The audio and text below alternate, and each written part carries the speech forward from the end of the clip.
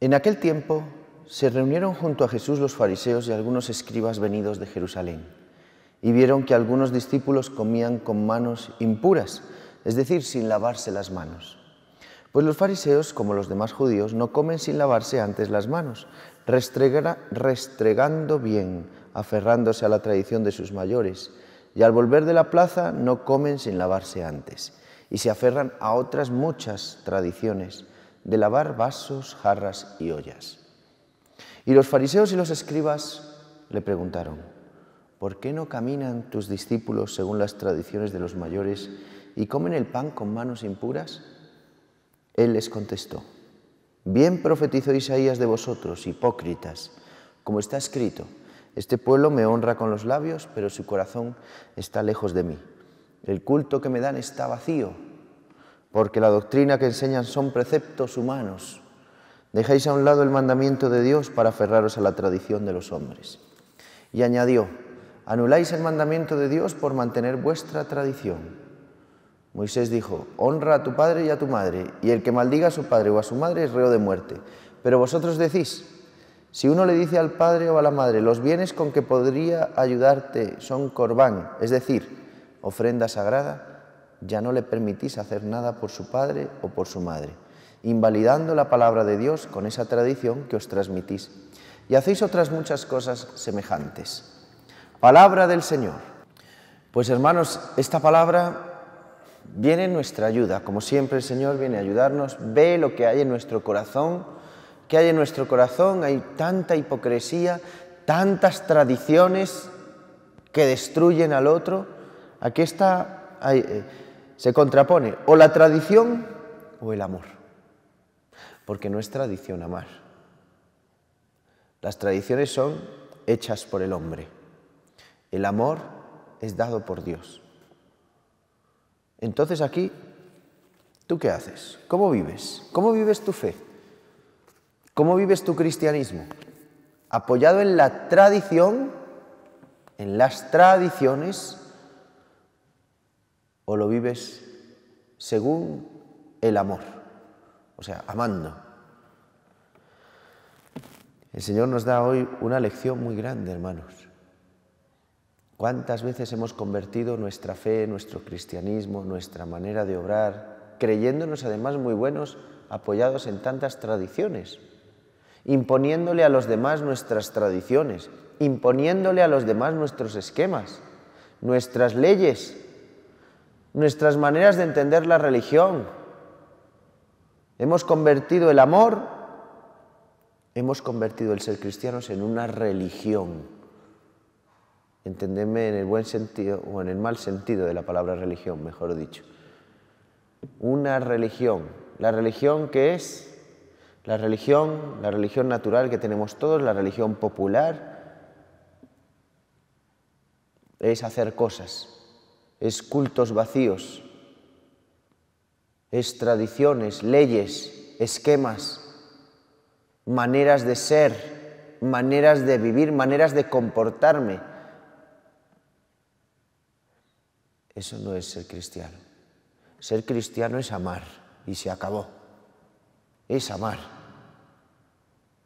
Si tú no puedes perdonar por más que cultos que hagas, por más veces que te confieses, por más cosas raras que hagas, por más obras de caridad que hagas, tú no eres cristiano.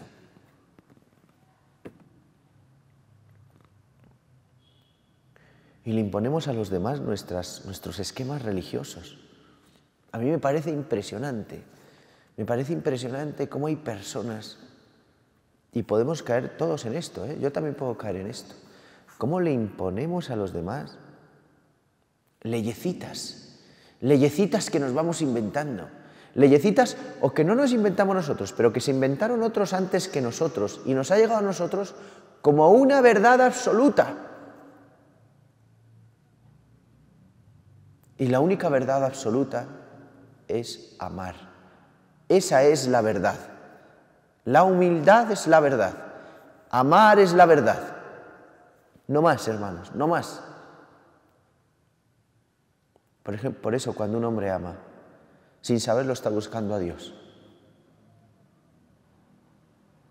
Pero cuando ama de verdad, no cuando ama, eh, cuando dice, si amáis a los que os aman, ¿qué mérito tenéis?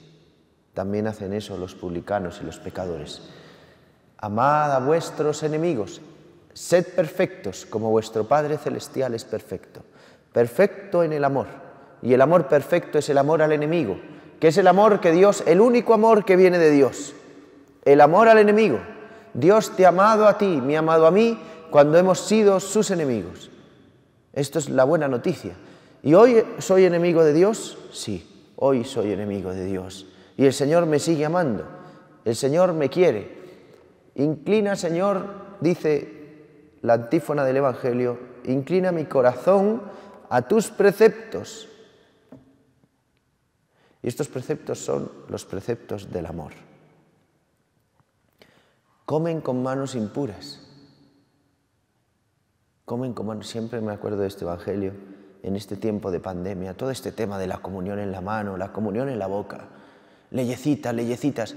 Hay personas que llevan tres años, dos años y pico sin comulgar por no querer recibir la comunión en la boca, en la mano, perdón.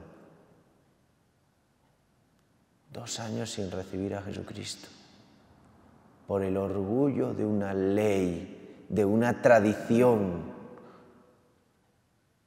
Madre mía, qué poco cristianismo, hermanos. Desprecio a Jesucristo por una tradición. ¿Qué es lo que hacen hoy los fariseos? ¿Qué es lo que hacen hoy? Dice, se, se comen sin lavarse las manos, con manos impuras. Recibe a Jesús con las manos impuras. A Jesús le encanta estar con los impuros. De hecho, le encanta hacerse impuro por ti, como con el leproso que lo toca y se hace impuro, con la que como con la que sufre flujo de sangre, que le toca por detrás el borde del manto y queda Jesús impuro, como cuando Jesús detiene una, procesión que va al cementerio y toca el cadáver, toca el cajón, queda impuro Jesús se hace impuro siempre por amor a ti. Jesús sí. No, si lavarse las manos me impide acercarme a ti, si por no poderte tocar, porque tocándote me hago impuro, no me puedo acercar a ti, entonces prefiero ser impuro. ¿Y tú? ¿Prefieres ser impuro con el que tienes al lado? Entiéndeme bien esta expresión impuro. Quiere decir, ¿qué prefieres? ¿Cumplir la ley? ¿La tradición? ¿Lo que te dice tu razón? ¿O amar? Hermanos, amemos. No perdamos un segundo en amar. En esta vida, esta vida nos la ha dado Dios solamente para una cosa, para amar. Y si no cumplimos esto, no somos felices, porque es ese amor lo que llevamos dentro de nosotros es ese amor que nos ha sido dado desde el inicio de nuestra creación. Es ese amor lo único que nos da la plenitud y la felicidad en esta vida. Que así sea, hermanos.